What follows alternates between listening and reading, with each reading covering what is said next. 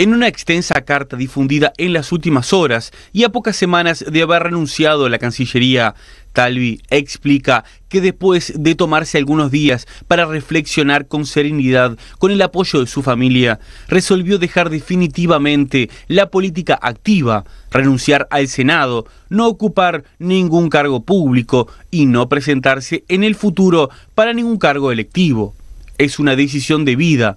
Seguiré sirviendo al país y a ciudadanos desde donde lo sé hacer bien y lo hago con gusto, liderando desde las ideas, desde el diseño de políticas públicas y formando jóvenes comprometidos con el servicio público.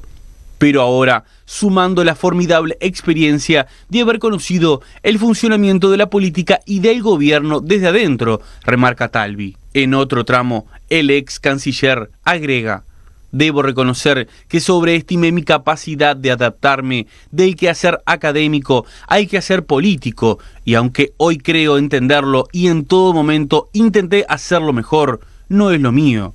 Afortunadamente, Ciudadanos fue concebido como un proyecto institucional y no personal, y trasciende las individualidades, asegura. La reflexión de Talvi continúa y afirma que renunciar a la actividad política fue una decisión difícil.